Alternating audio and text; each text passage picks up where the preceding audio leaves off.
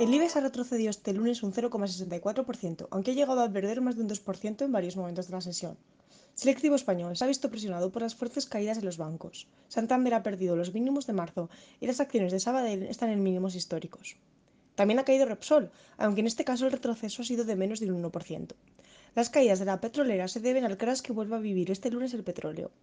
El crudo web Texas se hunde por debajo de los 14 dólares el barril. Las caídas en el crudo también están afectando a Estados Unidos. Al cierre del mercado europeo, los números rojos son los protagonistas en Wall Street, que se deja cerca de un 1,5%. Recordemos que el web Texas es el petróleo de referencia en Estados Unidos.